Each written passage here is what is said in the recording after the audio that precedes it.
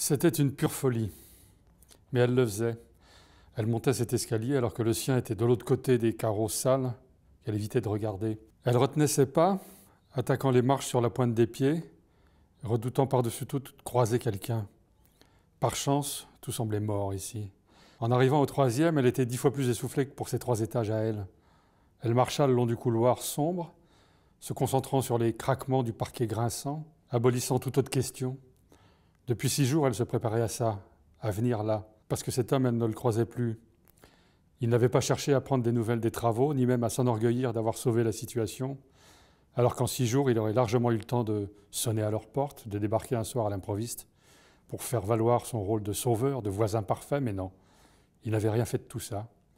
Ou alors il n'était plus là. Si bien que ce soir, en montant cet escalier étranger, elle avait un peu peur, peur de le voir, mais peur aussi qu'il ne soit pas là, qu'il n'habite plus là, que cet homme ait disparu. Elle le redoutait, tout autant qu'elle l'espérait.